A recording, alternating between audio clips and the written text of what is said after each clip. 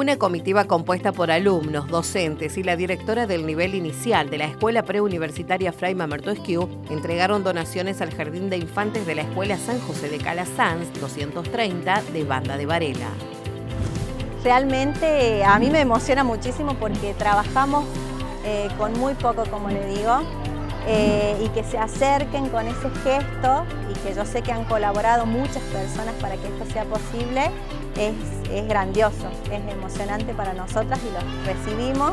y yo creo que los vamos a saber aprovechar y los vamos a poder, todos los chicos y la, y la comunidad en sí la va a aprovechar.